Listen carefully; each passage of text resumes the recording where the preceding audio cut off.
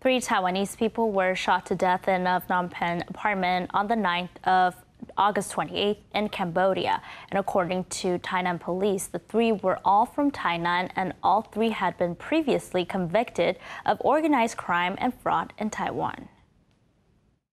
These crime scene photos, along with the victims' names, went viral on the night of the 28th.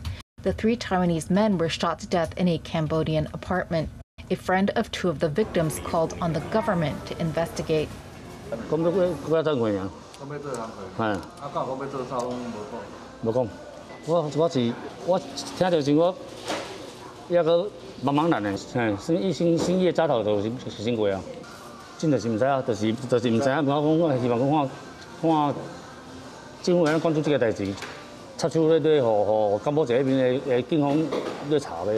According to the police, the third victim, surnamed Lin, was only in Cambodia two plus weeks before he was killed.